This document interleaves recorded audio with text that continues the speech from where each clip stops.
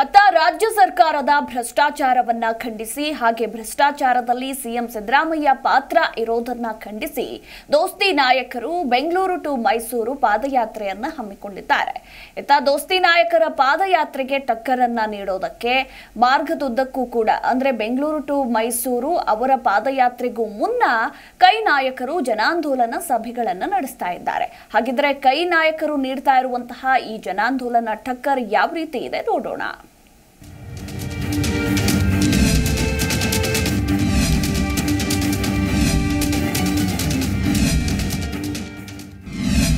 ಸಕ್ಕರೆ ನಾಡಿನಲ್ಲಿ ಎನ್ಡಿಎ ಮೈತ್ರಿ ಪಕ್ಷಗಳಿಂದ ಪಾದಯಾತ್ರೆ. ವಿಪಕ್ಷಗಳ ಯಾತ್ರೆಗೂ ಮುನ್ನವೇ ಕೈ ಜನಜಾಗೃತಿ ಸಭೆ. ಕೇಂದ್ರ ಸಚಿವ ಎಚ್ಡಿಕೆ ವಿರುದ್ಧ ಕೈ ನಾಯಕರ ಟೀಕಾ ಪ್ರಹಾರ. ರಾಜ್ಯ ಸರ್ಕಾರದ ಹಲವು ಭ್ರಷ್ಟಾಚಾರ ಹಾಗೂ ವಿವಿಧ ಹಗರಣಗಳಲ್ಲಿ ಖುದ್ದು ಸಿಎಂ ಕೈವಾಡ ಇದೆ. ಇದು ವಿಪಕ್ಷಗಳು ಮಾಡ್ತಾ ಇರುವಂತಹ ಆರೋಪ. ಅಷ್ಟೇ ಅಲ್ಲ, ಸಿಎಂ ರಾಜೀನಾಮೆಗೆ ಪಟ್ಟು ಹಿಡಿದು ಮೈಸೂರು ಚಲೋ ಪಾದಯಾತ್ರೆಯನ್ನು ನಡೆಸ್ತಾ ಇದ್ದಾರೆ. ಆಗಸ್ಟ್ ಹತ್ತರವರೆಗೆ ವಿಪಕ್ಷಗಳು ಮೈಸೂರಿನತ್ತ ನಡಿಗೆ ಆರಂಭಿಸಿದ್ದಾರೆ. ಆದರೆ ಇದಕ್ಕೆ ಟಕ್ಕರ್ ಕೊಡೋಕೆ ಕಾಂಗ್ರೆಸ್ ಕೂಡ ಅವರ ಪಾದಯಾತ್ರೆಗೂ ಮುನ್ನವೇ ಬೆಂಗಳೂರು ಮೈಸೂರು ಮಾರ್ಗದ ಪ್ರಮುಖ ಸ್ಥಳಗಳಲ್ಲಿ ಸಾವಿರಾರು ಜನರನ್ನ ಸೇರಿಸಿ ಜನಾಂದೋಲನ ಸಭೆಯನ್ನು ನಡೆಸ್ತಾ ಇದೆ. ವಿಪಕ್ಷಗಳ ಪಾದಯಾತ್ರೆ ಮಂಡ್ಯ ಜಿಲ್ಲೆ ಪ್ರವೇಶಕ್ಕೂ ಮುನ್ನವೇ ಮದ್ದೂರಿನಲ್ಲಿ ಸಾವಿರಾರು ಜನ ಸೇರಿಸಿ ಬೃಹತ್ ಸಭೆ ನಡೆಸಿದ್ರು. ಇನ್ನು ಕಾರ್ಯಕ್ರಮದ ಉದ್ದಕ್ಕೂ ದೋಸ್ತಿಗಳ ವಿರುದ್ಧ ಕೇಟಕಾರಿದ್ರು ಡಿ ಕೆ ಶಿವಕುಮಾರ್ ಇದ್ದರೆ ಅವರೆಲ್ಲನೂ ಯಾವುದು ಬಿಸ್ನೆಸ್ ಇಲ್ದಲೇ ಬಂದಿಲ್ಲ. ಅವರು ರಾಜಕಾರಣಕ್ಕೆ ಬರೋದಿನ ಮೊದಲೇ ಬಿಸ್ನೆಸ್ ಪ್ರಾರಂಭ ಮಾಡಿದವರು.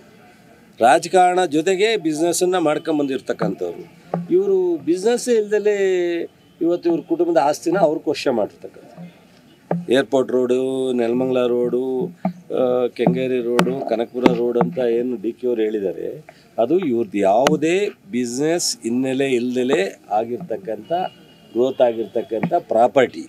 So D K Shivakumar ಅವ್ರದ್ದು ಚುನಾವಣೆ ರಾಜಕಾರಣಕ್ಕೆ ಬ- ಎಚ್ಡಿಕೆಗೆ ಡಿಕೆಶಿ ಸಂಪತ್ತಿನ ಎಚ್ ಡಿಕೆಶಿ ಕೆ ಮಧ್ಯೆ ಸಂಪತ್ತಿನ ಸಮರ.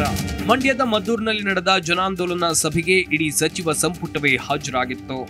ಇನ್ನು ಸಭೆಗೆ ಆಗಮಿಸಿದ ಡಿಸಿಎಂ ಡಿಕೆಶಿ ಮದ್ದೂರಿನ ಸೋಮನಹಳ್ಳಿ ಬಳಿ ಕಾರ್ಯಕರ್ತರು ಕ್ರೇನ್ ಮೂಲಕ ಬೃಹತ್ ಹಾರ ಹಾಕಿ ಸ್ವಾಗತಿಸಿದರು. ಅಲ್ಲಿಂದ ಕಾರ್ಯಕರ್ತರೊಬ್ಬರ ಬೈಕ್ ಏರಿ ಕುಳಿತು ಮದ್ದೂರಿನ ಕಾರ್ಯಕ್ರಮದ ವೇದಿಕೆಯವರೆಗೂ ಬೈಕ್ನಲ್ಲಿ ಬಂದರು. ಕಾರ್ಯಕ್ರಮ ಉದ್ಘಾಟಿಸಿ ಎಚ್ಡಿಕೆ ವಿರುದ್ಧ ಏಕ ವಚನದಲ್ಲಿ ಹರಿಹಾಯ್ದರು. ತಮ್ಮ ಸಹೋದರನ ಬೇನಾಮಿ ಆಸ್ತಿ ವಿವರ ಬಹಿರಂಗ ಪಡಿಸಲಿ ಅಂತ ಎಚ್ಡಿಕೆಗೆ ಸವಾಲ್ ಹಾಕಿದ್ರು.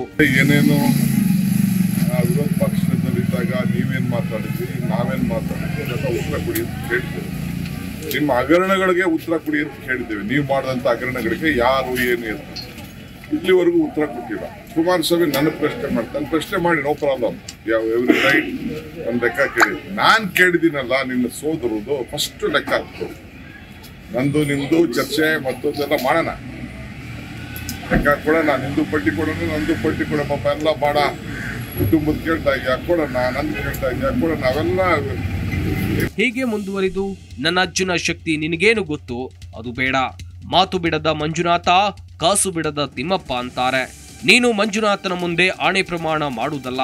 ಹಾಗಾದ್ರೆ ಯಡಿಯೂರಪ್ಪ ಅವರನ್ನ ಯಾಕೆ ಜೈಲಿಗೆ ಕಳುಹಿಸಿದೆ ಹೇಳು ಎಂದು ಡಿ ಕೆ ಪ್ರಶ್ನೆಯನ್ನ ಎತ್ತಿದ್ರು. ಡಿ ಖುಷಿ ಮನೆ ಎತ್ತಿದ್ರು ಫಸ್ಟ್ ನಿನ್ನ ಸೋದರ ಹೆಂಗ್ ಬಂತು? ನಿನ್ನ ಅಧಿಕಾರದ ಇದ್ದಾಗ ಯಾವ ರೀತಿ ದುರುಪಯೋಗ ಮಾಡ್ಕೊಂಡ? ಅದೆಲ್ಲ ಫಸ್ಟ್ ಲೆಕ್ಕಾಚಾರ ಹಾಕೋಣ. ಫಸ್ಟ್ ಲೆಕ್ಕ ಬರಬೇಕು. ಆಮೇಲೆ ಕೇಳಬೇಕು.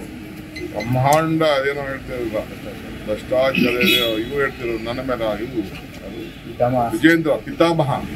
ಪಿತಾಮಹ. ನೀನ್ ಹೇಳಪ್ಪ ನಿಮ್ಮ ಅಪ್ಪನ ಯಾಕೆ ನೀನ್ ಕಳಿಸ್ದೆ ಜೈಲಿಗೆ? ಯಾಕೆ ರಾಜೀನಾಮೆ ಕೊಡಿಸ್ದೆ? ಏನಾಯ್ತು? ಎಲ್ಲಿ ಬಂತು? ನಿನ್ ಲೆಕ್ಕಾಚಾರ ಇದೆಯಲ್ಲ? ಫಸ್ಟ್ ಇದೆಲ್ಲ ಫಸ್ಟ್ ತೆಗಿ ಎತ್ತಿಂದ ನಿಮ್ಮ ಇವು ಎತ್ತಾಳಗೆ ಉತ್ತರ ಕೊಡು ಫಸ್ಟು ಬೇರೆ ಗೂಟರೆಡ್ಡಿ ಶೇಖರ್ಗೆ ಉತ್ತರ ಕೊಡಿ. ನಿಮ್ಮ ಪಾರ್ಟಿಯವ್ರಿಗೆ ಫಸ್ಟ್ ಉತ್ತರ ಕೊಡಿ. ಆಮೇಲೆ ನಮ್ಮ ಉತ್ತರ ನೆಕ್ಸ್ಟ್ ಎರಡನೇ ಸಬ್ಜೆಕ್ಟ್ ನನ್ಗೆ ಕೊಡೋರು. ಸರ್ಕಾರ ಅಭದ್ರಗೊಳಿಸುವುದು BJP JDS ಹುನ್ನಾರವಾಗಿದೆ.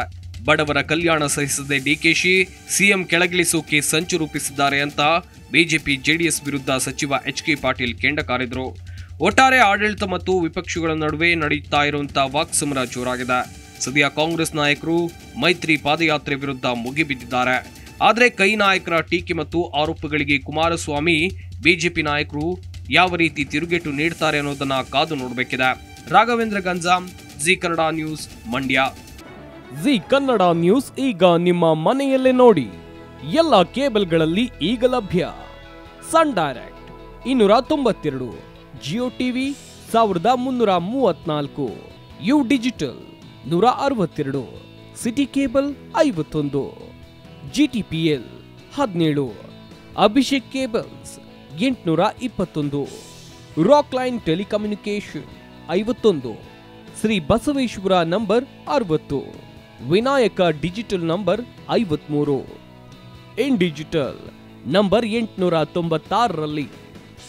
ನಿಮ್ಮಿಸ್ತದ Zee Kannada news ನೋಡಿ ಆನಂದಿಸಿ.